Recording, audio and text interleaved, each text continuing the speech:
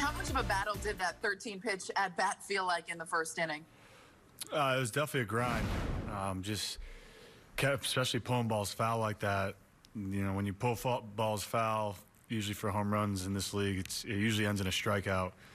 And to pull four or five of them foul, um, just just kind of kept saying to myself, just stay locked in, um, you know, stay inside of the ball, and, and ended up working a walk there, and, and it was one of those at bats that you feel good about afterwards.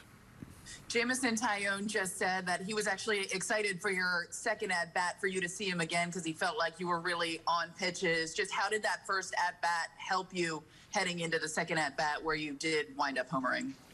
Yeah, seeing his seeing all of his pitches there uh, helped out, and he threw some good changeups that at bat, laid off a couple of them, fouled off one of them. Um, he threw a good cutter in his fastball. So whenever you could grind a pitcher like that, I feel like it always goes the advantage of the hitter and to work a walk and then and then see him the next time and, and just he left one over the middle there and, and put a good swing on it.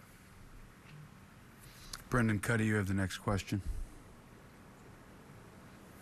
Also on Taillon, he said that you come in and seem like a leader right away. Just how easy has it been for you to integrate into this clubhouse? Uh, it's been it's been fairly easy. The guys have just they're super. Everyone's super professional and and um, just very welcoming to us, and uh, it's it's been it's been fun. It's been fun getting to know the guys and and um, just continue to talk baseball. The baseball talk has been has been really nice, and and even the personal stuff. You start getting to know guys on a personal level, so. Um, it's all new and it's it's all fun and um, just continuing to be myself and uh, you know talk talk the game and, and, give some of my experiences and learn from other guys' experiences. Go next to Justin Shackle. Hey Anthony, this this team was consistently winning series um, as you arrived. Now they've won five of six with you in action for them. How would you describe what the energy is like in the clubhouse now? Series continue to be won.